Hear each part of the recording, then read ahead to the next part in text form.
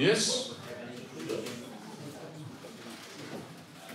Jamen, øh, velkommen til øh, anden afdeling her af Gudløs torsdag, den sidste gudløse torsdag det her forår. Øh, og øh, øh, nu kan I jo ligesom se, at øh, jeg har fået min øh, nye, øh, hvad skal man kalde det, lillebror?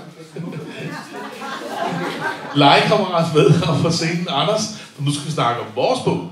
Øh, og jeg vil da lige med det samme sige, at øh, vi har blevet liggende derude, der har jeg set opdaget til øh, et slagtilbud af flabet 150 kroner, og jeg kan da sige, at Christian han fik lige udsolgt sin bog. Og det ser vi også gerne, at vores bliver. Så Det er det til at se pinligt ud for Ja. vores bog, så. Ja, det vil jeg sige. at vi så har øh, fem gange så mange med som ham, det er sådan noget helt andet, men øh, øh, udsolgt er jo udsolgt. Ikke? Og der er nogen, der vi har solgt helt ud ikke? af alle værdier omkring den her bog. Ikke? Stærk segway. Ja. er det ikke rigtigt, Anders? Er vi ikke bare nogle øh, flabede, øh, halvstuderede, kvartstuderede? I... Det var faktisk øh, det nåede Steffen lige at sige til mig, at han mente, at han havde taget os i én løgn i den her bog. Øh, fordi vi skriver, at vi ikke har skrevet den for at provokere. Og det, det synes jeg virkelig ikke, vi har. Altså, Altså, jeg er for- kun sådan stortogen, der er... For lige at sætte den op imod en af tidens helt store provokatører, så udgiver vi den her bog, som er, øh, hvad jeg er kommet frem til efter 10 års øh, religionsdebat, og hvad du er kommet frem til efter et liv som fundamentalist og senere ateist. Og det har du og jeg så kombineret og kogt ned til 120 sider, og ligesom siger, her er vores religionskritik. Og samtidig så står der en mand ude i Københavns Vestegn og skider på en koran, og får alt taletid i hele landet så føles det som om, ej, så virker det ikke som om, det er os, der provokerer, for så har vi da ikke gjort det godt nok. Et eller andet sted. Nej, det, det, der har vi ikke... Der skal vi arbejde lidt med markedsføringen, tror jeg. Ja, Så du finder en mark her eller på men jeg skal ikke. Nej, jeg synes også... Øh, altså, for nu lige at sige, hvad den her bog handler om, så er det, øh, den hedder Du er jo ateist, udråbstegn, en vantro debatbog. Og øh, øh, som jeg ser det, så kan man sådan sige øh, tre ting om den. Det er en intro til øh, noget af det, som vi møder meget i debatten. Øh, mange af de samme argumenter og sådan noget haha-argumenter og sådan noget. Så vi øh, sætter sætter os ned og siger, hvad forstår vi ved ateisme? Hvad er en ateist? Hvorfor er vi imod religion? Hvad er det, vi synes, der er skidt ved religion? Og det er altså sådan religion. Ikke? Det er ikke sådan lige den, kun den danske øh, folkekirkekristendom. Det er sådan al religion under et. Fra år et eller andet minus øh, 700.000 og så op til nu. Og så alle religioner. Øh, så hvis der er nogen, der kommer og siger, at der, der er en generalisering hister her, jo, det er der jo nok. Mm-hmm. Øh, og, øh, og derefter så gør vi helt kort og koncist klar, hvorfor vi synes, at øh, det, der er vejen frem, det er et sekulært samfund. det er sådan, den trætrinsraket, den bog er. Øh, den er så struktureret i nogle kapitler og sådan noget, det kan Anders komme ind på. Men det er så set det, vi har gjort. Øh, og, og så lagt det frem til debat. Men altså, det er sådan overall en intro til vores finurlige lille verden. Kan man ja. sige det? Og det, med det sagt, og det er ikke for at underminere vores salgsmuligheder, så sidder der jo nok nogen herinde, som ikke vil få alverden ud af at læse det. Fordi vi prøver at holde det ret simpelt. Vi, blev, altså vi, vi tog fra starten af Der er mange overraskelser. at den her skal kunne læses af en 18-årig på et gymnasium. Altså, at det er det, der er missionen med den, og det er derfor, vi også har lavet den her meget simple inddeling, hvor vi starter med at tage religionernes videnskabelige påstande. I første kapitel, så tager vi de historiske påstande, så tager vi påstande om efterliv. Derpå så går vi ind og kigger på, hvad religion gør ved vores verden. Og til sidst, hvorfor man bør være ateist, og hvorfor det så i sidste ende er så skidesvært at skulle diskutere det her. Sådan lidt af de psykologiske ting. Og vi holder det, synes jeg, ret simpelt og nemt at forstå. Men alligevel. så kommer fordi, der så kommer der selvfølgelig nogen og siger, at I har ikke læst øh, 700.000 bøger om øh, øh, teologiens historiske udvikling og forgreninger. Nej, det er ikke en bog. Altså, den er på 120 sider. Den er ikke på 720 sider. Altså, Altså, så må man læse, læse noget Rothstein. ja, ja. Altså, det er ikke en videnskabelig afhandling. Det kan vi godt blive enige om, ikke? Altså, jeg ser det lidt som en... Og vi kalder det en debatbog. Det er så også nogen, der siger, er det nu en debatbog? Det ved jeg så ikke. Så skulle vi... Det, det snart manifest, er der nogen, der siger. Mm, så lad os kalde det det. Altså, det er i hvert fald der, hvor vi lægger det frem helt sådan kort og klart, hvad er det egentlig, vi mener. I stedet for, at der er nogle, øh, nogle præster, der sådan for tid til anden skal udlægge det i Christi Dagblad. Mm-hmm.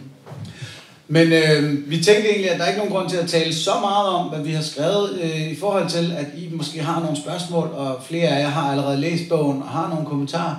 Øh, så vi kunne lige så godt bare fordele vores pointer ud på de svar, vi kommer til at give jer i løbet af en Q&A.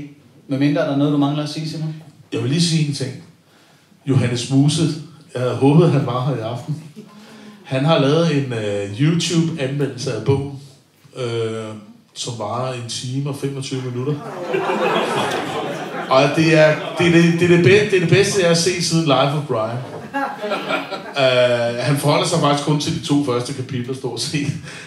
Fordi det her farme handler det om Gud findes eller ikke findes. Johannes Muse, der er en af vores gode venner, som er bimlende kristen, altså fuldstændig vanvittig kristen, og synes, at ateister er nogle idioter.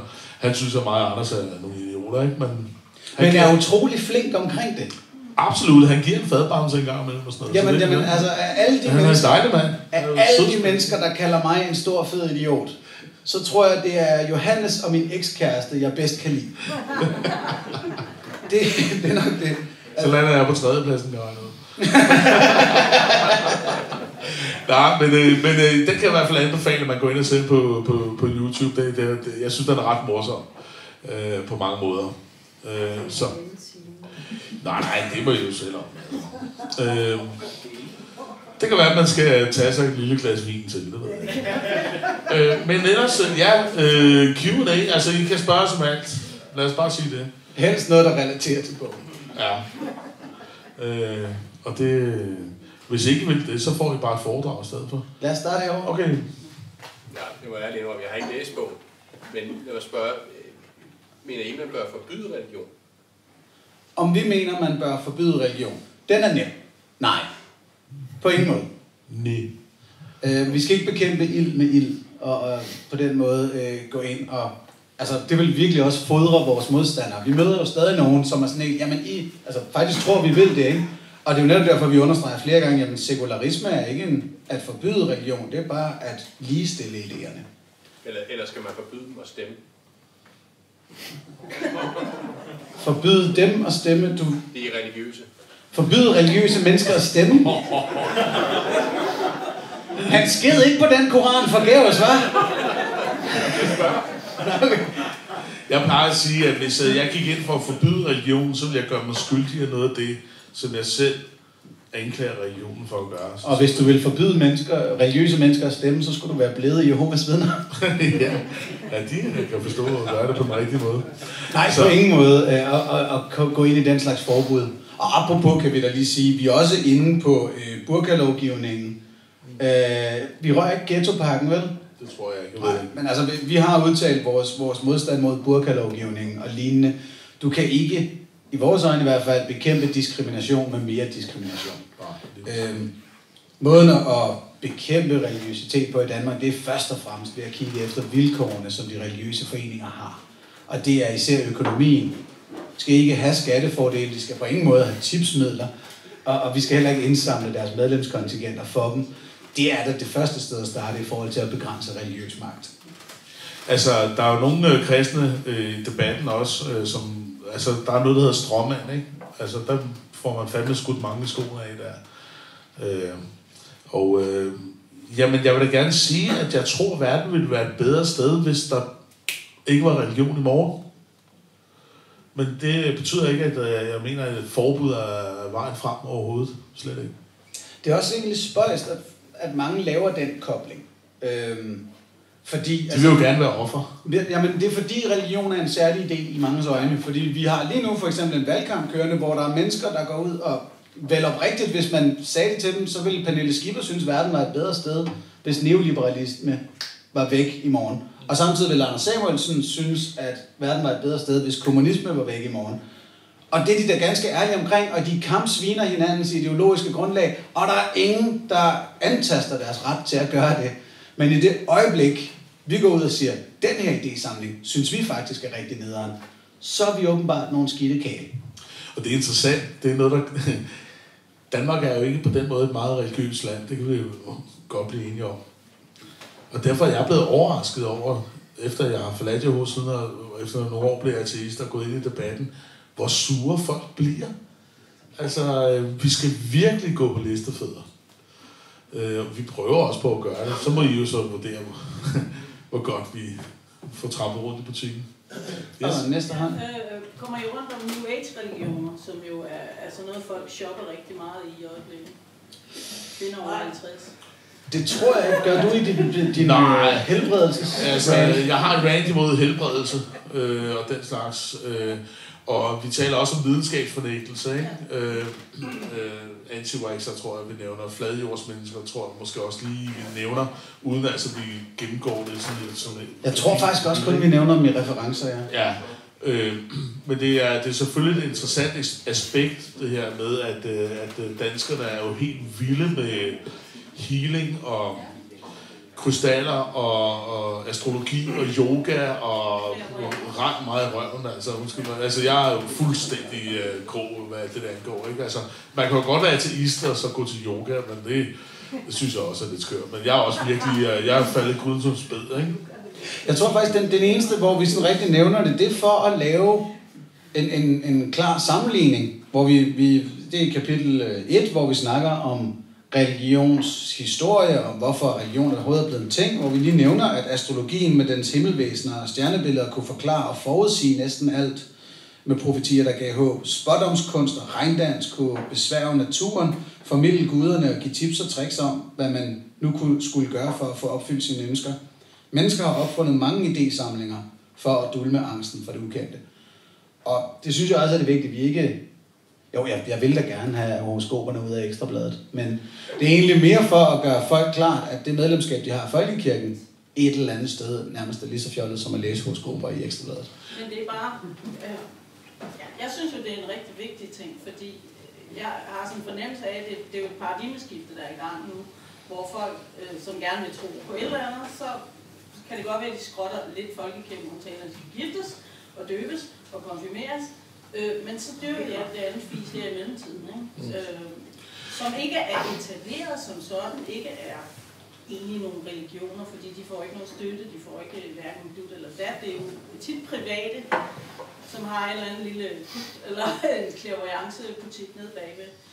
Men altså, det er jo lidt same shit, ikke? Jo, altså, jeg, jeg mener faktisk, at vi i bogen flere gange gør noget ud af at understrege, at vi ikke ser ned på religiøse mennesker, og at de ikke er mindre bemidlede noget af stil. Altså, det er et menneskeligt behov at takle dødsangsten på en eller anden måde. Og øh, når, hvis de gamle religioner ikke virker til det længere, øh, så, så kigger vi jo... Altså, i hverdagen håber vi jo alle sammen på, at der i nogle sammenhæng er et eller andet quick fix, quick fix eller quick fix, eller hvad det hedder. Øh, og øh, for nogle af det er jo krystaller, og, og homøopati og den slags. Øh, og, og det kan man jo grine af og sådan noget, og det skal man også. Altså, hånd, spot og latterliggørelse er også vigtigt i den sammenhæng, men vi må bare erkende, at, at det er et menneskeligt behov, fordi at øh, det produkt, som Anders og jeg sælger i bogen her, og i alt det, vi ellers gør, det er jo ikke et særligt sexet produkt. Det er jo noget med, at du skal se i øjnene, at du skal finde glæde i meningsløsheden, og der kun er det her liv tilbage. Ikke? Der vil jeg, der vil jeg skulle lige øh, komme ind, øh, fordi det, det, var, det der med, at vi har et behov for, for, for svar, det er vi nemlig også lidt inde på, at det, det er jo ikke fordi, vi, vi har et, et religiøst behov, men vi har et behov for at føle, at vi ved noget. Ja. Og, og et eller andet sted, og det er ikke for at kalde mennesker for dumme. Men det er bare lige for at sige netop det der med, ja, så har de lige en klaverjant bæks nede i bagenden af negleklinikken. Øh, og det er bare fordi, jeg, jeg, havde, jeg, har, jeg har, jeg har en, en, en, en familiemedlem, der sagde, at min, klær, min klaverjante negletekniker siger, at jeg vil føde den og den dag. Og jeg hører, jeg hører sjældent folk, der siger, at min klaverjante ingeniørven har sagt sådan her. Eller den her universitetsprofessor, som også er klaverjant, sagde jo sådan her det, det virker som om, der er et eller andet der. Og, og det, og der, der, det er vi lidt inde på det her med, jamen, hvor vi har et dybliggende behov for at, at føle, at vi ved noget. Og det er der så nogen, der lige tager det der føle lidt for bogstaveligt i forhold til at bare prøve at sørge for at vide noget, før man føler det rigtigt. Ja, og det er bare et uh, dybtliggende behov. Der er en, uh, kender I ham, den uh, gamle troldmand over i uh, tryllekunstner? troldmand. Uh, han ligner en troldmand. Ham der James Randi over i uh, USA. Han har haft en... Uh, han har, han, har gjort, han har brugt sin tryllekunstnerkarriere på at, uh, at afsløre de her tricks af klaverjante og så videre. Ikke? Og han siger, at hvis du står med en hund, og, og du står og viser den en bold, og så pludselig kan du trylle den væk, så bliver den fuldstændig vanvittig. Den vil, den vil vide, hvor bolden er. Øh, og så det er sådan noget dybere liggende. Altså, vi har behov for at forstå vores omverden, ikke? Og det er jo, det er jo angsten for det ukendte, øh, som dybest set, altså det vil jeg tro i hvert fald, ikke? Øh, der var et spørgsmål her. Men samtidig så har vi jo... Højt. Ja, samtidig så har vi jo behov for, at der er tryllekunstnere, som kan arves, øh, som netop kan udfordre vores, øh, vores behov for viden. Men det var nu slet ikke det, jeg spørger om. Fordi jeg har en bunke spørgsmål, men nu kommer jeg ned til et meget personligt spørgsmål til jer to. Øh, kan I selv se jer fri for at have religiøse tilgange og, og selv have dogmer, som I, i efterlever? Kan I nu sige, hæver jer op, udover at jeg selv ser fri for det? Altså, jeg kan godt uddybe det og sige, at jeg har aldrig mødt et menneske, jeg kender bare en lille smule, som ikke har en eller anden religiøs tilgang. Jeg formoder, der er noget. Balladen er jo, at i takt med, at vi gør det, vi gør, så de bevidste af dem bliver jo stille og roligt øh, renset ud. Og så vil jeg formode, hvis jeg har, at så er de fortsat ubevidste for mig. Hvis nogen ser en, så kan den. Øh, men, men, har man det? Altså, jeg tror, alle mennesker har bias på en eller anden måde. Vi har, vi har jo, der er arv, og miljø, ikke? Jeg er tidligere fundamentalist i Jehovas vidner. Det er I trætte af at høre om det mange af jer, ikke? Men altså, det er jeg. Og jeg, derfor tænker jeg stadig på den måde. Så jeg er nok et eller andet sted stadigvæk fundamentalistisk indrettet. Så lad mig bare sige, okay, jeg erkender det. Jeg er fundamentalist, sådan, men med en option på at kunne øh, øh, se mig selv udefra og, og, og, og ligesom øh, rette ind, hvis der kommer et rigtigt argument. Førhen var jeg jo argumentresistent og faktaresistent. Og Det mener jeg faktisk ikke, jeg er længere. Og det, men det ved jeg jo også noget om, fordi det, har, det har jo været en lang øh, krise gennem 20 år, ikke? at komme ud øh, af det der krænke det der af sig. Så det, derfor jeg, jeg prøver virkelig på at være opmærksom omkring det. Men jeg kan da godt se, når man skriver en bog, der hedder Du er jo ateist. En vantro debatbog. Ikke? Religion er bare noget ikke så godt. Og altså, så kan jeg da straks se ja, de kristne, der siger, du er selv religiøs, du tror på ateismen og sådan noget. Ikke? Øh, men øh, jeg, jeg prøver virkelig på at rense af mig selv og, og prøve at, øh, som Tim Minchin han siger, den australske musiker og komiker og ateist, altså tage mine egne holdninger ud på terrassen og så give den med boldtræet og se, om det holder. Og øh, hvis ikke det holder, så er jeg nødt til at revurdere. Og det har jeg gjort mange gange på mange områder i, i mit liv, også politisk og så videre. Øh, så, så det er et godt spørgsmål, og jeg tror, vi alle sammen har det. Jeg, jeg er bare blevet mere opmærksom på det. Jeg tror, det er det, der er svaret. Nu sidder jeg også lige og selvrenser og vil godt give dig en. Og det er, at jeg har en, en idealistisk, naiv tiltro til, at viden vil sætte mennesket fri og skabe sammenhold i menneskeheden. Og det er, det er derfor, jeg for eksempel har skrevet nogle af de meget preachy kapitelafslutninger i den her bog. Bare lige for at give et eksempel på, hvad der sker, når, sådan, når, jeg, når jeg virkelig lader min al, indre alternativist give gas, ikke, så er det jo, at, at det her i sidste ende handler om idéer. Så længe der er mennesker, der pusher idéer på andre, er der nogen, der pusher tilbage. Socialister skubber til liberalister, progressive til konservative, veganere til baconelskere. Det kan ikke undgås, og det bør det heller ikke. Det er i den udveksling, vores liv forbedres. Uenigheder bliver til enigheder, som bliver til love og normer. Sådan skaber et samfund rammerne for fællesskab, tryghed og samarbejde. Jeg er også ved at brække mig lidt, når jeg læser det. Men det er der, hvor sådan... Og jeg kan godt mærke, at den tilgang er jeg nok nødt til at have, når jeg for eksempel står på mål for nogle bestemte ting politisk. Øh, så der er nok et dogme der, som som jeg skal være meget varsom med, ikke skaber en bias i mig. Faren ved det er jo, at folk kan komme og sige, hvad er så viden? Hvornår afgør du, om noget er viden? Ikke? Ja. Og, og, det er jo så, hvad, hvad, det er jo, hvad har du mest lyst til, er rigtigt, du ved, ikke? Altså bacon, veganer, Det er jo ikke særlig svært at vælge der, øh, for eksempel. Jeg har stødt på to øh, mormonske missionærer på Lyngby station her til eftermiddag, da jeg delte flyers ud. Der var en helt ny definition af viden til dig. Okay. De var hotte, kan jeg... De var faktisk meget kønne. Ja, det var søde. Ja. Jeg kan godt lide mormoner. Øh, hvor, hvor er vi henne her? Der var et spørgsmål der. Ja, øhm, altså jeg har en, en, en kommentar til det forrige, fordi jeg ikke kan være. Øhm, og, altså, vi har jo alle sammen axiomatiske grundholdninger, altså ting, vi bare baserer på, fordi vi har lyst. og det gælder også religiøst for den til skyld. Øh, men, men mit spørgsmål er mere, hvad den hedder, nu gengiver jeg nok meget, at jeg ikke læst bog, mest af fordi jeg spørger, hvordan definerer I, så at sige, øh, en artist? Øhm, fordi jeg oplever mere og mere sådan rent internationalt, det, det begyndte at være, hedder, blive en ting, der bliver diskuteret mere. Øhm, fordi at, er det, jeg tror ikke på en, øh, øh, en øh, overnaturlig øh, antropomorfisk øh, magt, eller er det mere i, øh, eller er I rent faktisk mere over i den filosofiske, der er ikke nogen Gud? Ja, altså, jeg vil gerne lige tage fat det første, du sagde, det der med lysten. Altså, at man på en eller anden måde øh, har en mening ud fra, hvad der egentlig tiltaler en, ikke? Og selv efter jeg forlod øh, Jehovas vidner og forlod troen, så var jeg fast besluttet på, dogmatisk, at der måtte være en Gud, der måtte være en mening med livet. Det sidste, jeg ville være i verden, det var ateist. Det skriver jeg også i bogen. Jeg ville ikke være ateist. Men altså, efter nogle år, som øh, ikke selv erkendt ateist, der mangler at springe ud af skabet, så måtte jeg jo bare erkende, at det var det, jeg var. Og det var absolut ikke behageligt. Så altså, det kan godt lade sig gøre, at øh, træffe nogle beslutninger i forhold til, hvad er min overbevisning, selvom det var egentlig ikke det, jeg håbede på. Altså, du kan sammenligne det med at gå til lægen. Vil du gerne have, at lægen øh, lyver over for dig og siger, ikke siger noget om den der kraftdiagnose, du har, og at du skal dø inden for 6 måneder? Eller vil du gerne have beskeden? Øh, jeg bryder mig ikke om den besked, men jeg vil have beskeden. Jeg vil have virkeligheden.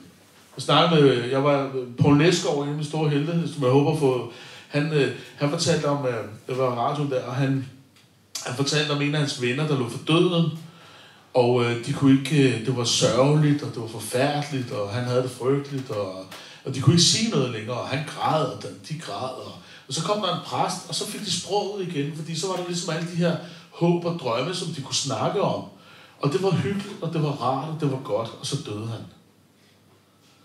Og der siger jeg bare, jamen, det kan jeg godt forstå, men jeg foretrækker at leve i den virkelige verden.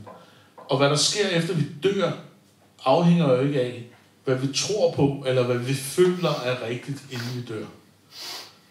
Der sker det, der sker. Og der er altså, ja, sandhedssøgende, som man gør, når man er Jehovas vidne. Og for at komme til din definition af ateisme, som Ja. ja. var spørgsmålet. Øh, Så, så, så. øh, vi tager os tid til det her fra øh, side 12 til 16-17 stykker. Øh, Og det er lang tid, er bog, ikke? For Ja, det er der kommer det. Og, og der er så også kommet bøvlet af det. Jeg tager lige tre pointer fra det. Øh, vi genbruger en meget simpel test, vi har på ateist.dk også. Øh, spørgsmål 1 i testen er, tror du på en eller flere guder? Hvis svaret er nej, nok ikke, eller ikke rigtigt, så er du ateist. Færdig arbejde, ikke? Øh, øh, og så har vi lavet den her, meget- vi, vi, vi er begge fans af den meget simple model, der ligesom tager agnosticisme og, og gnosticisme samt ateisme og teisme op mod hinanden og giver dig fire forskellige valgmuligheder, du kan være. Det virker som om, de fleste er dækket ind her. Det viser sig, Lars Sandbæk er ikke. Samt andre, øh, som er meget stedige omkring, at de er et eller andet andet sted. Og det er helt fint, men de fleste er altså dækket ind her. Og så understreger vi en meget vigtig pointe. Ateister må også gerne være i tvivl. Der er frygtelig mange i Danmark, der stadigvæk tror, at en ateist kun kan være en gnostisk ateist, som er overbevist om, at der ikke er nogen guder. Nej, man må selvfølgelig gerne være super meget i tvivl, og hvis tvivlen så falder ud til, at man ikke tror på guder, så er man ateist. Øhm, så det er Jamen, sådan... For at citere Christian ikke? Thomsen øh, før, altså, jeg ved det ikke, da han blev spurgt om Jesus, han har været en rigtig person. Altså, vores produkt er, jamen, vi ved det ikke. Hvad sker der, når vi dør? Vi ved det ikke. Der er en masse ting, der tyder på. Det er en videnskabelig tilgang, ikke? Yes. Så tror jeg, det er Sonnys tur. Øh, jeg følge det, du sagde før, Simon. Øh, jeg læste en bog for nylig, hvor der stod, ja, og min kvinde siger til en mand, det er en meget, meget smuk virkelighed, du lever i. Det er bare synd, den ikke er rigtig. Øh, øh, tror I, at der kommer et tidspunkt, hvor man regner religion som en, en psykiatrisk lidelse? Nej, der kommer ikke et tidspunkt, hvor du regner det som en, en psykisk lidelse at være religiøs. Du træder lige på lykken med tog lige der, ikke? Ja, jeg godt lide. ej, ej, det, det, det, det vil jeg bestemt også. Det kommer ikke. Vi kan tale om, hvorvidt sådan noget som uh, religious trauma syndrome, som vi har arbejdet lidt med. Uh, der er en, en amerikansk uh, læge, Dr. Marlene Winnell, eller sådan noget, der prøver at promovere den her diagnose omkring, at du har været i et dogmatisk religiøst samfund. Det medfører nogle traumer. Uh, det kan måske blive noget, eller PTSD, PTSD eller lignende. Men det at have en overtro er så naturligt og tilforladeligt nærmest for et menneske at have. Det kan jeg ikke forestille mig, vi, vi kommer Nej, til at altså, og det er noget, altså, når, når, når en baby bliver født, så tror den ikke på noget. Så er der en masse voksne, der putter alt muligt ned i hovedet på den der, ikke? Det er jo ikke en øh, psykisk lidelse, det er jo arv miljø. Altså, jeg ved godt, man kan blive syg af ting, øh, men altså, nej, nej, nej, vi er ikke derude. Vi er ikke derude. Altså, religiøse mennesker er nøjagtigt lige så kloge og dygtige og, og, og øh, ressourcestærke som alle os andre. Og der findes jo også, det er ikke mange, der findes videnskabsfolk, som er virkelig dygtige videnskabsfolk, som også er religiøse. Ikke? Og så får vi altid stukket i næsen. Hvad med hende, eller hvad med ham, og så videre. Ikke? Nej, det er ikke en psykisk øh, diagnose. Altså, men vi er alle sammen bange for, at vi skal dø. Eller vi, vi går og tumler med det faktum, fordi at mennesket er det eneste dyr, der ved, at det skal dø. Så enkelt er det. Og det er et paradoks, fordi det eneste, vi gerne vil, det er at leve. Så springer vi derhen. Jeg, jeg er nødt til at smide dig i køen, øh, Christian. Jeg fokuserer rigtig meget på det der. Det er noget, vi ikke ved, og så er det noget, vi ved. Det er nu lige nævnet, det er noget, vi er helt sikre på, vi ved. Det er noget, vi snakker med fake news og så videre. Det vi ved, det er, vi er jo her i en kæmpe, kæmpe univers. Vi er lige her. Og så er vi også i et univers, der er enormt gammelt. Og det vi snakker om her med religion og sådan noget, det er jo bare, vi siger godt, at okay, Jesus det var det gik 1300 år inden og så videre. Men i forbindelse med universet, så er det jo, det vi er et splitsekund. Det er jo nemt, nu må jeg lige høre lidt godt efter. Det bliver meget kort. Lysets hastighed, det tager fra lyset fra månen til jorden. Månen der ligger langt, langt væk. Det tager et sekund. Lyset fra solen, solen ligger meget, meget, meget længere væk. Det tager 8 minutter og lyset, inden vi ser det, når det til os. De nærmeste, og så er vi en del af Mælkevejen, det der kan lade for det flere milliarder stjerner, og hver stjerne det er fra et solsystem. Og så er det de nærmeste, vi kan komme ud til, det er altså millioner af lysår. Altså det univers, vi er i, det er så kæmpe, kæmpe, kæmpe, kæmpe enormt. Så er der nogle af os til flere milliarder. Dinosaurerne, som vi graver op af jorden, vi ved, de har været her. De uddøde for 60 millioner år siden.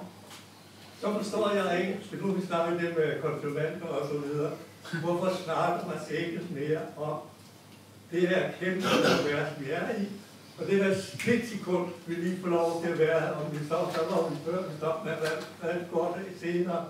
Jeg tror, jeg fornemmer, hvor du er på vej hen af. Det her med, når vi har alle de her videnskabelige indsigter, hvorfor fylder de så ikke noget mere i vores samtaler, især med børnene? Øh, og det tror jeg, alle herinde også undrer sig over. Hvorfor vi bruger så meget tid i folkeskolen på at lære dem, hvad nogen gætter om verden, frem for at bruge tiden på at fortælle dem, hvad vi rent faktisk ved om den. Og det, det understreger vi også et par gange, men balladen er Det er der. utrolig vigtigt. Ja, og balladen er der, at mennesker er jo villige til, i det øjeblik, de finder ud af, jamen, okay, universet er 13,8 milliarder år gammel, eller er det 14? Øh, jeg må lige tjekke. øh, så siger de, jamen, okay, hvad var der så før der? Det kan være min Gud. Altså, man skubber den bare længere ud, jo. Øh, først så var han lige på, på den anden side af skyerne, så kom vi derop og kiggede, der var han ikke, om du skal længere ud. Men jeg, Som Michael Schødt har været inde på. Men jeg kunne godt tænke mig at vente om, det er netop det, som vi godt kunne tænke os jo. At øh, lad, os nu, lad os nu få skovlet det der anachronistiske gamle August ud, og, og, og behandle det som et øh, historisk, kulturelt samfundsfænomen. Øh, og så lad os da lære børnene og os alle sammen, at universet er fuldstændig fantastisk. Vi behøver ikke nogen mysterier for at gøre det mere fantastisk. Og, og, øh, og det er den bedste måde, vi kan komme videre på, det er at lære noget om det univers, vi lever i. Altså både det ydre og det, det helt øh, småtte, altså nede på det atomare niveau. Ikke? Altså, det er jo sådan nogle ting, vi skal have...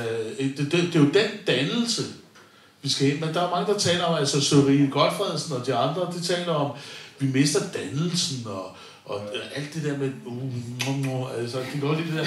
Altså, vi, vi skal have en videnskabelig dannelse. Det skal være sådan, det sidder på ryggraden af alle børn i det her land, der ved præcis det, du siger der, med at det tager 8 minutter for lyset at komme ned fra solen og så videre. Ikke?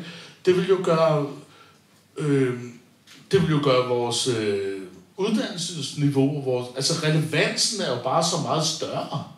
Altså, der er relevans. Der er ikke noget relevans i det andet. Så, så, så det er jo det, vi håber på. Det er jo, og det er det, vi kan, måske kan skubbe på med at, at få et sekundært samfund i hvert fald. Ikke? Sådan, så at folk skal tro på, hvad de vil øh, hjemme i privaten, eller i kirken, eller måske. Ikke? Vi skal nå alle. Vi skal nå alle. Yes. Der, Det Nå, er du tager det, Christian. Ja, jeg Så er det efter. Christian. Brød. Um,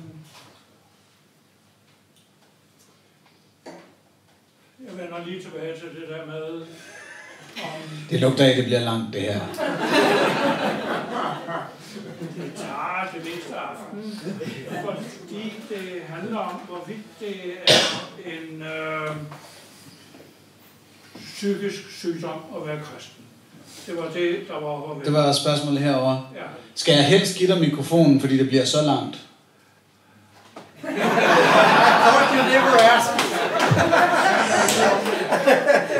Jeg gav min niece en, en lyserød Man er vel i kugle, showbiz. En er lyserød kugle med en lille øh, øh, øh, enhjørning i, med sådan noget glimmer, der kunne komme rundt i. Hun havde det samme smil på, som du lige havde der, da jeg tilbød dig mikrofonen. Ej, det er jo et meget, meget stort spørgsmål. Men øh, ja, jeg mener, det er en psykisk sygdom at være kristen. Og det vil jeg jo tage en aften og argumentere for det. Kan du det på to minutter? Øh, øh, tre.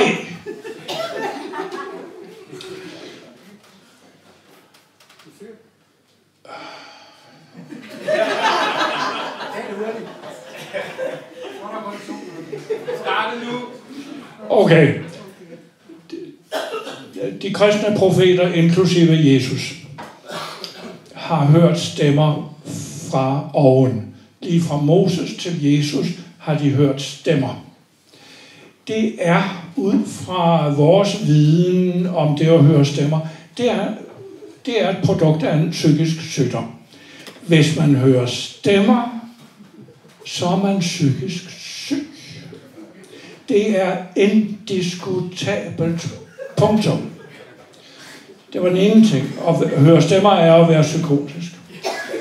Øh, den anden ting, det var noget, jeg lagde en vis vægt på i, øh, i mit indlæg, nemlig øh, at Jesus den ene dag siger, at vi skal øh, elske vores fjender, og den næste dag siger han, at vi skal øh, massakrere vores fjender.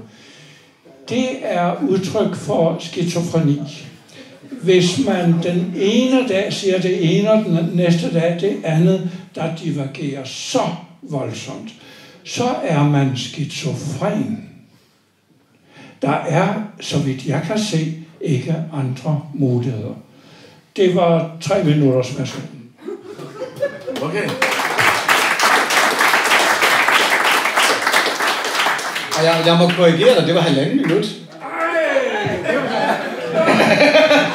Øh, men her vil jeg så sige, det at tro på en person, der har hørt stemmer eller er skizofren, og moderere den tro til den cherrypicking, man for eksempel, de fleste kristne begår sig i, kan jeg ikke se er en psykisk sygdom. Men med det sagt, næste spørgsmål. og det var dernede. Ah, halvandet minut. Ja, du får et spørgsmål igen. Hvad, hvad siger du? Ja, du får et spørgsmål. Du tager så Jamen, det var hernede, øh, den unge Ja, dame. hvis, øh, jamen, hvordan, Øh, har I nogle gode råd til, hvis jeg nu gerne vil give bogen til nogen? Ja. Give bogen til nogen, eller øh, hvad hedder det, anbefale nogen at læse den, hvordan jeg så undgår at fremstå missionerende i deres øjne? Jamen, det er jo meget fedt, du pakker konfirmationsgaver ind, jo. Hvis nogen er, ældre end konfirmations Ja, den er nok også lige, selvom vi prøver at holde den let, så er den lige tung nok til konfirmanderne. Øhm, ja, hvordan fanden man ikke virker missionerende? Ja, det er jeg jo åbenbart skide dårlig til at give råd om. Men, øh, altså, øh, prøv at høre. Du giver jo bare en bog, der siger, hey, der er nogen, der har et frisk pust her. Et, et, et, et indspil. Du kan sable det ned, hvis du synes, men prøv lige at læse den en gang. Altså, det er jo ikke missionerende, er det det? Er det det? Eller Eller, er eller, der- eller var der lige noget gammelt i hovedet? Eller, eller også er der bare en anden tilgang til det der spørgsmål. har du ikke lyst til at læse noget spændende litteratur?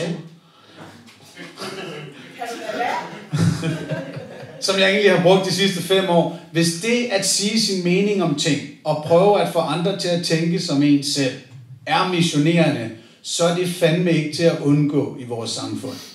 Øh, så har vi jo lige nu en valgkamp fyldt med missionærer.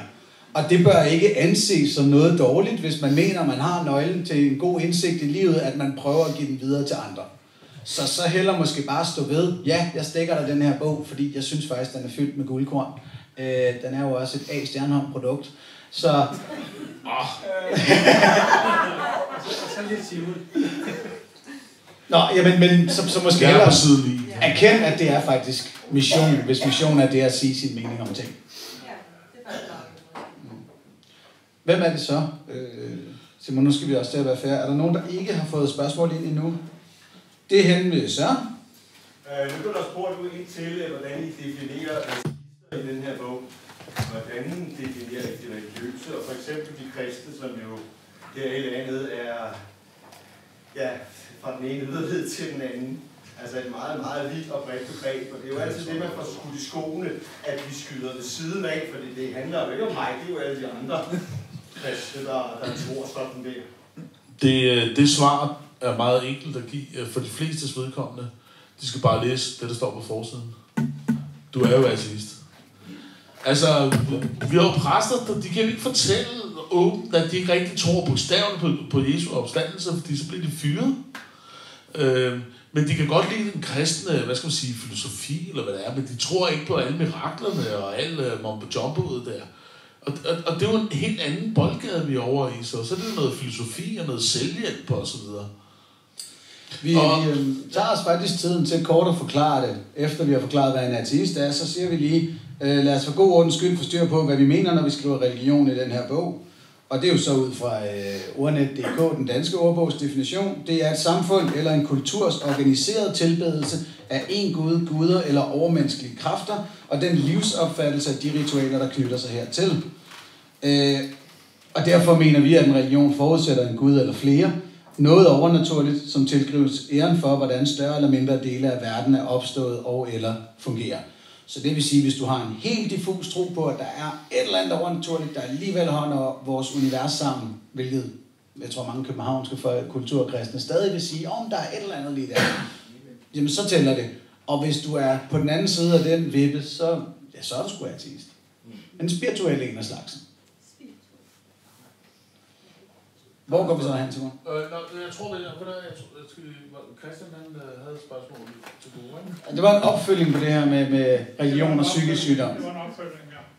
Skal vi øh, lade den være musikken i pølseenden, og så tager vi lige et par stykker først?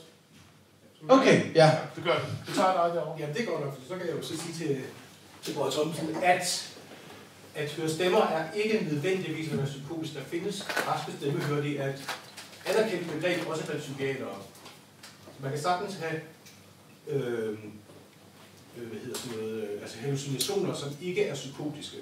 Så man er ikke nødvendigvis psykisk syg, fordi man har hallucinationer i gang imellem. Det er den ene ting. Din definition på, på skizofreni er helt forkert.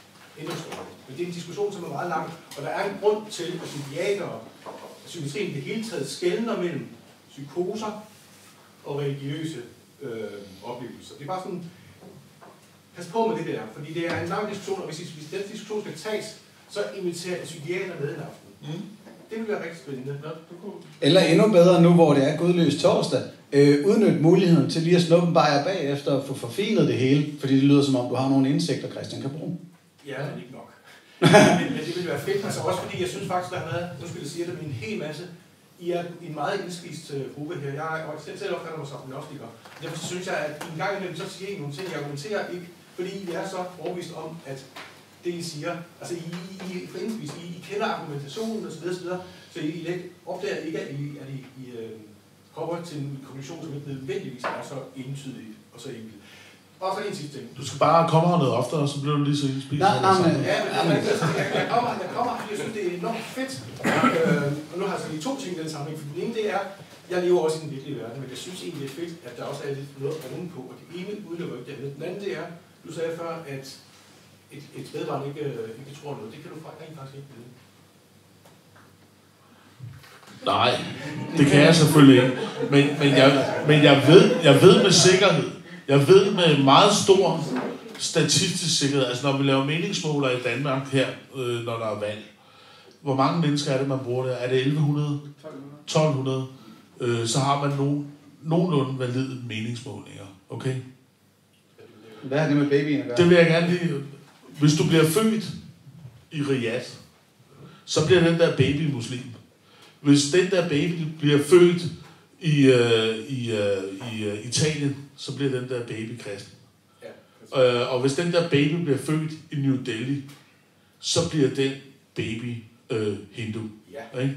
Så, så øh, det er jo i hvert fald en indikation af, at øh, en baby er et blankt stykke papir, som bliver udsat for arv og miljø. Nej, fordi Boris Thomsen... Statistisk set er det fald. Thomsen var jo selv inde på, at de religioner ligner hinanden. Jamen nu, jeg taler ikke på Christian Brods Thomsen, jeg taler statistik, og jeg... Nej, det jeg siger, det er, at religioner, religiøs tilgang, øh, de minder jo om hinanden. Det har Brød Thomsen jo selv sagt. De religionerne minder om hinanden. De har mange af de samme grundelementer. Det er jeg enig. Og, og, og jeg kan godt komme med en lang forklaring på, hvorfor der også er noget, der tyder på, at enten så er det indbygget i vores hjerner, eller også så er der noget om det. Den diskussion kan man tage, men man kan aldrig blive færdig med, færdig med den. Nej, men, Altså vil jeg hurtigt medgive dig, at det er fuldstændig rigtigt, at nogle gange i argumenterne, så springer vi langt øh, frem, når vi er herinde. Men det er vel lidt ligesom en speaker på Brøndby Stadion heller ikke behøver at understrege, at fodbold er federe end håndbold, lige det fora. Øh, så der vil jeg sige, hvis jeg debatterede i Indre Missions Ungdom eller andet, så vil jeg tage noget kortere spørgsmål. Jamen, det er rigtigt. Men der ville det jo være fedt, hvis de var sådan netop debatteret med nogen, der var ude i uenighed. Jamen, det gør vi jo. Det gør vi vi har jo haft, også vi har haft ofte, bare ikke. Petersen på side. Vi har haft Jacob Holt hernede. Det var fandme en hård omgang. Vi har haft uh, Ida Augen hernede. Vi har haft alle mulige hernede. Og det er også bare lige for at sige, det, det, den anklage vil jeg ikke bringe til øh, Pastor Hansen i Hillsong på Bremen hver søndag. Der skal de skulle have lov til at sige, jeg kan mærke Jesus, I kan mærke Jesus. Og så behøver vi ikke at diskutere det meget længere. Øh, på samme måde vil vi vel gerne have lov til en gang imellem at sige, kan I heller ikke mærke Jesus? Og så er det, Og så har vi, øh, både Anders og jeg har været ude og debattere talrige gange ude i kirkelige og i kirkelige miljøer, ikke? hvor vi er totalt i mindretal. Ikke? Det er jo bare som om, I ligesom er ved at danne jeres egen religion her, ikke? Ja, det bliver, den tager vi til øh, efterbejeren ude i Bayern. et meningsfællesskab er Der ikke var et religion. spørgsmål mere, inden vi over til... Ja, det øh, var Sonja havde i hvert fald fingrene op. Nu har vi også en her. Når, når nu at, øh, at I ikke øh, forbyder religioner, er der så visse religiøse praksiser, øh, som man ikke må udføre, og må man prædike disse religiøse praksiser, såsom omskæring, tæske sine koner, øh, stene utro mennesker, øh, slaveri. Må man prædike disse ting, hvis kan det være forbudt at prædike disse ting? Drab på jøder osv. Meget enkelt svar. Man må prædike og tro lige præcis, hvad man vil. Du må bare ikke gøre, hvad du vil. Så menneskeoffringer, nej tak. Øh, og, øh, men øh, du må da selvfølgelig gerne tro på, at det ville være det bedste i det der land, du nu gerne vil øh, Det vil være et ikke? edgy Øh, statement i, for, i Folketingsvalget, Ja, Simon. ikke? Og Nej så- tak til menneskeoffring. Så øh, du må da gerne til... nej tak til menneskeoffringer. Det, det giver en... Øh, men, men altså, øh, og, og selvfølgelig, hvis du er jøde, kan du sige, jamen, øh, jeg vil helst øh, gerne have, øh, at jeg går omskære min dreng, men det er altså desværre ulovligt i det her land. Det er jo, de har jo ret til, altså folk, der går ind for omskæring, har jo lov til at have den mening. Øh, men øh, selvfølgelig øh, går vi ind for, at øh, der skal være en aldersbegrænsning på 18 år. Så det, det er meget enkelt i virkeligheden. Prædike, prædike hellig krig. Prædike helkrig er fint med mig. Altså, det, altså, nu- hvad vil du gøre? Hvad- Vil du forbyde en imam og sige, at du ikke må stå og kaste sten efter bøsser, eller hvad? Øh, hvis han ikke må det nede i moskeen, så finder han nok et andet sted at gøre det. Jeg kommer fra Jehovas vidner, de gør præcis, hvad der passer. Eller prædiker i hvert fald præcis, hvad der Der vil jeg også sige, at jeg er ytringsfrihedsfundamentalist. Ja, Øh, Det, det, det, ender er man jo svær, nok på. når det kommer til en direkte ordre. Øh, men det er der, hvor... Ja, men det er masse, svært. der- Det er, det er jo svært, det der. Men, øh, Du ved siden af, havde Ja, det var sådan lidt relateret til det, du, det, du sagde. Øh, nu har vi religion som en, hvad kan man sige, øh, boble, hvor man tænker og opfører sig på en bestemt måde. Man har også andre områder, for eksempel politiske partier, det ved du også fra Alternativet. Man tænker og opfører sig, og det der ikke er rigtigt, så bliver du skubbet lidt ud, hvis du siger noget, øh, der er lidt for stødende. Inden for firmaer har man også en vis kultur og måde at opføre sig på. Og hvis du ikke lige passer ind, så bliver du skubbet lidt ud, og så er du ikke rigtig med i det der. Kommer I ind i, i, i, i bogen om, at religion det er bare en del af det der måde, at mennesket mange gange tænker på? Det tror jeg måske lidt i, i kapitel 7, omkring øh, stammekultur. Ja. Ja. og hvad det gør for os. Jo, øh, en lille smule er vi inde på, øh, på de der psykologiske mekanismer, og, og i det her med stammekultur, og kristen som i dag er en, en stammebetegnelse, snarere end en, en religiøsitet for rigtig mange. Øh, så en smule, ja. Det er jo vigtigt at sige, at ateisme er jo ikke en øh, garanti for, at vi så får en fantastisk verden. Altså fluernes herre kan der gå i den alle steder, ikke? Øh, også blandt ateister. Øh, så, så religionen er bare en god driver i de der konflikter, det ser vi bare stadigvæk i dag, ikke også? Men det er jo så ikke kun derfor, vi bruger religion. Når religion er mindst skadelig, og nu bliver Anders... Øh, når, når religion er mindst skadelig, så er det bare spild af tid. Det plejer du ikke at være enig med mig, ikke? gør du det? Øh, Okay, der, han er super enig. så, så, øh, jeg nødt have, at du skal til at være der- paranoid der- over... Vi tager lige et spørgsmål til hende. Christian får det sidste, fordi han har siddet et stykke tid dernede. Jeg, jeg har glemt, at... Uh, yes. Robin. Kom du bare frem? Ja, Robin, ja. øh, Undskyld. det der går ud på mig nogle gange, det er, alle mennesker har jo øh, tænkt over mening med livet, og hvad der sker efter døden og sådan noget. Hvordan kan det være, at det er meget, meget, meget ofte en overnaturlig forklaring, der kommer frem? På, på, at der sker noget efter døden. Hvorfor den... Eller, eller hvor er det mening med livet? For Jamen- at, at mennesker har umiddelbart behov for, at løsningen til alle de store spørgsmål er noget overnaturligt. Ja, lad mig prøve den korte. Øh, hvorfor der er en overnaturlig forklaring på meningen på livet, eller på livet efter døden? Fordi der er ikke nogen naturlig. Nej, hvad skulle det ellers være? Så, så bliver Det også det lidt nødvendigt at frem Ja. øh, provokere en, en overnaturlig en. Eller er det for nemt at svare på det Lad, spørgsmål lad os nu sige, at livet ikke har en mening. Så er Ja. spørgsmålet, hvad er meningen med livet? Det er jo et trickspørgsmål.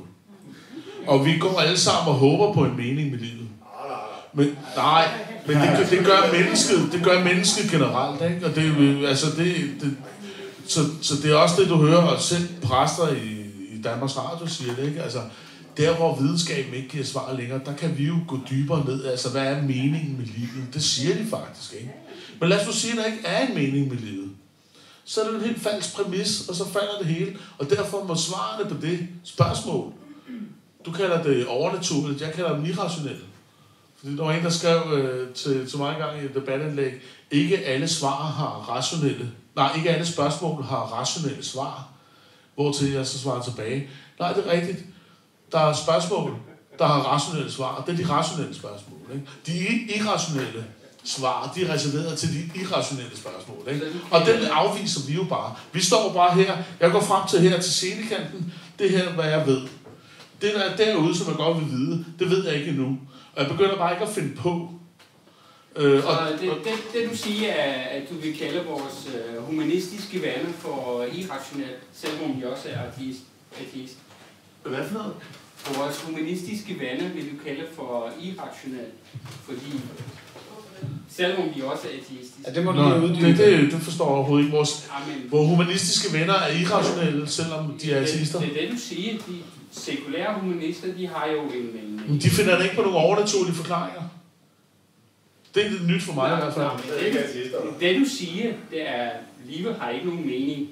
Det er så din mening. Nå, ja, ja, men, øh, Men, så, men så, det er fint, men det er det- ikke enige i. Men de, er, de, er jo, de tror jo ikke på noget overnaturligt. Men hus, derfor humanismen, men humanismen er jo heller ikke at give livet mening. Mm, Jeg vil, meget kort sagt, humanismen siger jo selv, at mennesket selv skal give mening til sit liv. Jamen, det, det er jeg enig i. Altså, det er vi jo enige i. Altså, når der ikke er en... Nej. Der er nu ikke, peger jeg over på Christine, hun er med i Humanistisk der er ikke nogen forudbestemt mening med livet. Der er ikke en prædestineret mening med livet. En større hensigt med vores tilværelse. Og det, der- det kan så føre til, at nogle mennesker bliver nihilister og bare brænder det hele af. Ikke? Og flipper helt ud. Ikke? Sådan er jeg ikke blevet. Jeg har fundet en mening med livet, der hedder, jeg er nødt til hver dag at have det som en opgave for mig selv at skabe en mening med det her liv, jeg har, for det er det eneste liv, jeg har. Den her dag i dag, der er gået om et par timer, den kommer ikke tilbage. Det gælder for mig at følge så meget mening i det som muligt, så det, vi skal selv skabe vores mening. Så det er måske præcision af det der mening. Forstår du det? Ja. Men vi er stadigvæk ved det her med humanismen som en... Men det er også det, som jeg siger. Vi skal hver især skabe vores egen mening med livet. Der er ikke nogen, der fortæller dig, hvad meningen med livet er. Men hvad, hvad fortæller humanismen så om livet? Hvad, hvad, er det ikke også det, du fisker efter så, Robin?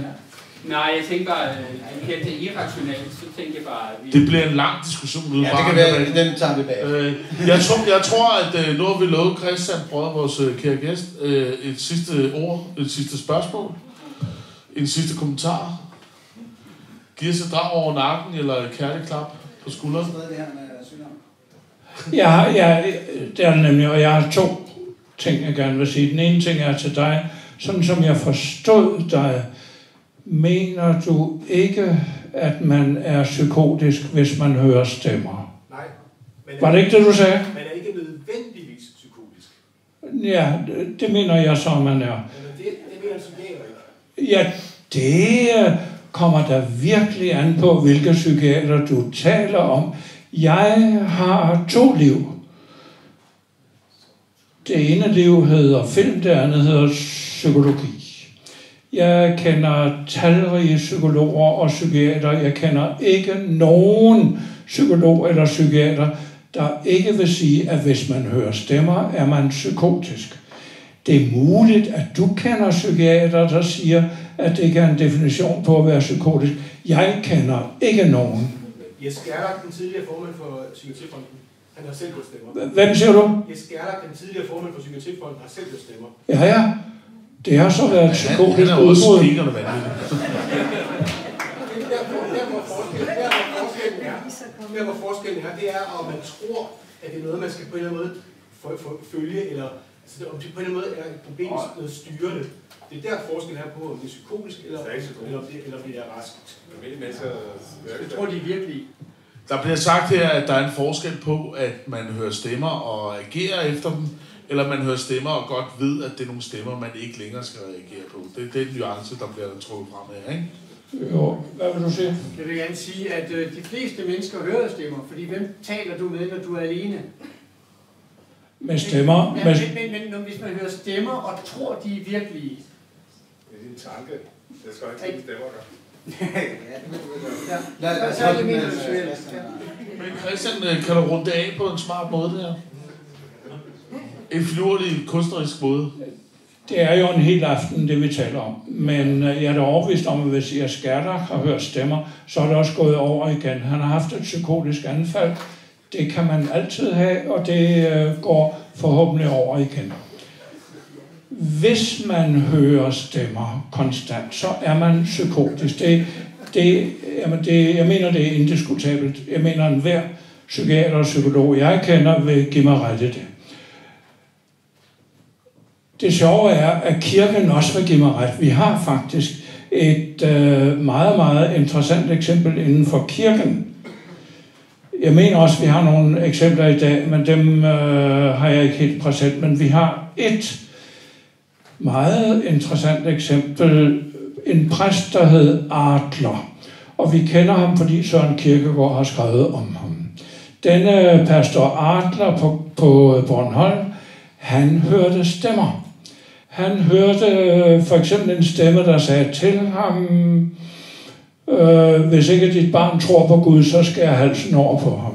Og hvis du ikke selv tror på Gud, så tag lige og skær halsen over på dig selv. Da han øh, fastholdt, at det var Guds stemme, han havde hørt, sige disse ting, så blev han fyret. Den eneste, der forsvarede ham, var Søren Kierkegaard. Søren Kierkegaard sagde, at han er en sand kristen. Jeg ved også, at Kierkegaard er psykotisk. Det er sådan, det er sådan, det er sådan en anden diskussion. Ja, Søren Kierkegaard blev lidt vild på hans gamle dage, selvom han kun blev 35. Ja. Nå, øh, nok om det med at høre stemme. Det stemmer, det er et udtryk for psykose, men, og nu kommer så det, det jeg egentlig ville sige, det var det, du sagde, nemlig, at øh, man kan sådan set godt tro på Jesus, uden at være skizofren, selvom jeg påstår, at Jesus var skizofren. Ja, det ved jeg så ikke. Jeg mener, og nu starter jeg så også, også på en hel aftens øh, indhold, men øh, jeg mener faktisk, at det er psykotisk at være kristen. Og for at forstå det, er jeg nødt til at vende tilbage til Sigmund Freud. Ja, ja. Sigmund Freud, som er et af de klogeste mennesker, jeg kender, han øh, sagde, at, øh, at øh, neurosen var almindeligt forekommende. Han sagde, at vi jo sådan set alle sammen er neurotikere, men at dem, vi kalder neurotikere, de er det bare tydeligere end vi andre. Neurotikerne fortæller om konflikter, som vi alle sammen har i os. Men i modsætning til neurotikerne, kan vi styre vores konflikter. Det kan neurotikerne ikke. Okay, vi kan så heller ikke altid styre vores konflikter. Nogle gange tæver vi konen og sparker til hunden, og jeg ved ikke hvad. Men normalt kan vi, selvom vi også er neurotikere, styre vores konflikter. Det er en frygtelig interessant tankegang. Den vil jeg gerne overføre til psykosen. Ved at sige, at i en vis forstand er vi alle sammen psykotikere. Om ikke øh, på andre tidspunkter, så er vi det, når vi sover. Hvis vi tjekker vores drømme, vil vi se, at i vores drømme er vi psykotikere. Hvad vi drømmer, det er fuldstændig gang. Det er en psykose, hvad vi drømmer. Så i vores virkelige liv kan vi jo godt styre det. Vi kan jo godt sige, at det var bare noget, du drømte, men det er jo stadigvæk noget, der er i os. Det er stadigvæk konflikter, som er i os. Det, vi drømmer, er jo materiale, der findes i os. Altså er vi alle sammen psykotikere. Det jeg så vil sige om, det jeg så vil sige om de kristne, det er, at de i deres øh, religion har skabt en løsning på de to fuldstændigt afgørende konflikter, som vi alle sammen slås med, nemlig seksualiteten og døden. Vis mig et menneske, der ikke har, sex, der ikke har problemer med seksualiteten og døden. Det har vi alle sammen. De kristne har det ikke. Seksualiteten er afskaffet ved jomfrutroen, døden er afskaffet ved troen på det evige liv. Dette er en psykotisk løsning på problemer, som vi alle sammen har. Det var bare det, jeg ville sige. Okay. Okay, skal vi bare lave det der udgangsproblem? Nej, nej, nej, nej. Jeg kunne ret godt lide det. Men altså, nej, det, jeg lige ikke lov sige, til. at, at Lemmy fra Motown, han skrev en sang, hvor han skriver, at de, altså, svaret på livets mysterium, det er simpelt og direkte, sex og død. Ja, det var en god sang. Også en udmærket udgangsreplik, men udgangsreplikken bliver, det handlede om trods alt om den her bog, ligger ude i baren, koster 150 kroner. Ved siden af den vil jeg lige sige, der ligger der nogle helt gratis flyers i forbindelse med valgkampen, som I skal være velkomne til at tage med hjem. Og det er ikke nødvendigvis, fordi I er nogle trækrammende hippier, der synes, at ulighedskonflikten og klimaet er det vigtigste, vi skal tage os af. Men I kender måske nogen, som skal skubbes i en lidt mere øh, religionskritisk, videnskabspositiv retning. Så tag dem med, prøv at missionere over for dem. Det er jo beviset på, at alle kan falde for sådan lidt sekterisk, men øh, lad nu det. Det er mine neuroser og psykoser. Okay. Tak for i aften. Tak for en øh, god sæson med Gudløs torsdag. Hvad laver I sidst i selskab fra nu af? Ja, vi har fået sparket en, en øh, ungdomsorganisation i gang. Gudløs Ungdom, så send jeres børn hjem og gå ind og, og tjek det ud på øh, Facebook og internettet, og hvad det hedder alt sammen. Det der internet der. Øh, det skal nok blive godt.